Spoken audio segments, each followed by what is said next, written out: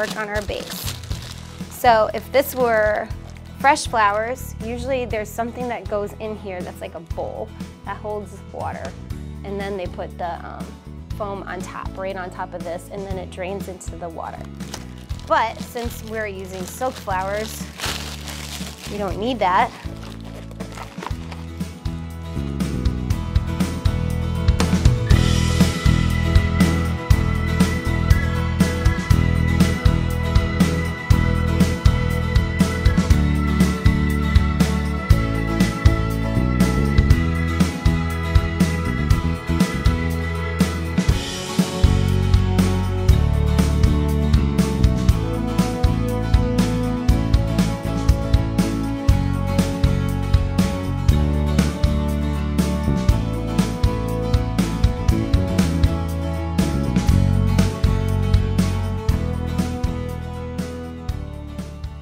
We are holding up a lot of flowers, so it is important to make this pretty secure.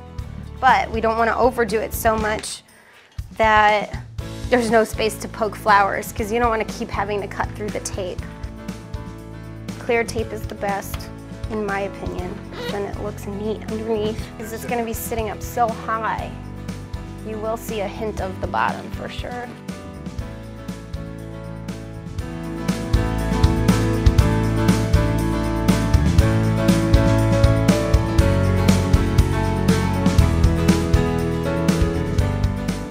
Are cutting, say in the middle somewhere, you just want to cut really close to the leaf. So that way there's a long stem there, but you're not having like a big stem sticking out here. That always looks bad.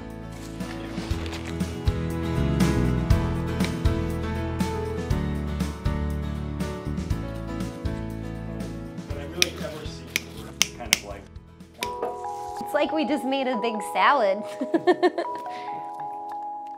Salad.